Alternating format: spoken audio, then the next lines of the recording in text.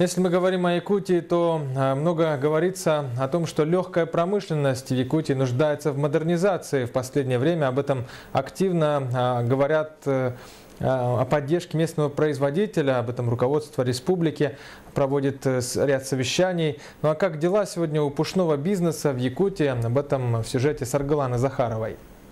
Заготовка пушнины еще в советские годы считалась одним из главных видов деятельности в республике. Почти в каждом совхозе числились кадровые охотники.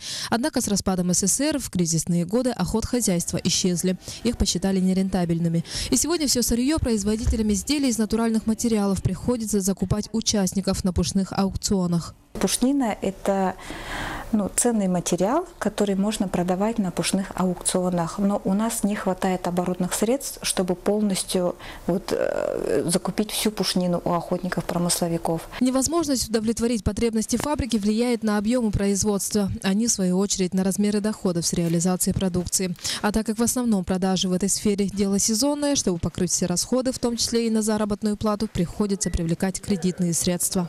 В легкой промышленности низкая, низкий уровень рентабельности, поэтому банки с нежеланием выдают займы, во-первых. Во-вторых, они выдают займы под высокий процент. Мы вынуждены все равно где-то брать, одалживать и платить тоже за это высокие проценты. И все эти факторы выливаются в стоимость конечного продукта, которые, к слову, сегодня, мягко говоря, кусаются. При этом производство из натуральных материалов не терпит спешки. Для того, чтобы шкура превратилась в кожу или, скажем, в такую замшу, из которой впоследствии сошьют обувь, одежду или головные уборы, должен пройти как минимум месяц, а это более 20 этапов обработки.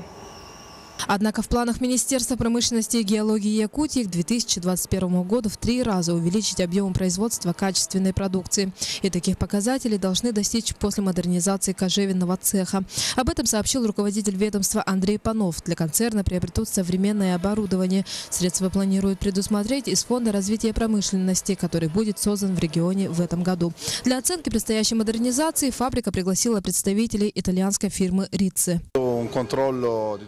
Мы провели исследование такое конкретное и плодотворное всех машин, всего оборудования э, и установок фабрики. И можем сказать, что, конечно, то оборудование, которое сейчас находится, оно в неплохом состоянии, но необходимо поменять несколько машин в любом случае на более современные. Отметим, что в будущем компания собирается продолжить сотрудничество. Итальянские коллеги признались, остались под впечатлением от фабрики. Ручной труд, который высоко ценится в Европе, и профессионализм работников вполне может вывести бизнес не только на российский уровень, но и на международный. Саргалана Захарова, Василий Слепцов, НВК «Саха», Якутск.